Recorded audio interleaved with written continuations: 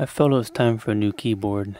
I had my last one for about 10 years, so I went ahead and went on Amazon, ordered myself a new one, and this is what I got.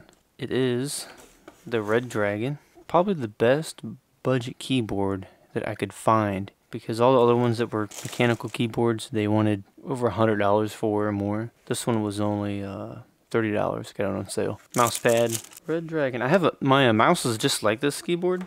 It's also Redragon. Bubble wrap. Who out there likes to pop lots of bubble wrap? How to use a keyboard? Like that. That's how you use a keyboard. It's the best way to use it. They're a bit noisy, but I kind of like that because then I can, I know if I've hit the key or not. But this will help me a lot with my videos, adding descriptions and everything, typing things out. Because my other one is about 10 years old at least, and the key, like underneath the keys, there's all this dirt and everything. And this is only ten dollars. So smooth. How would you feel if you were in the same room as someone for hours on end and all you heard was this?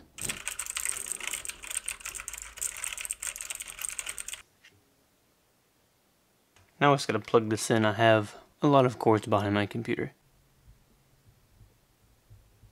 Now I just gotta plug this in through these all these cords. So that's gonna be the fun part.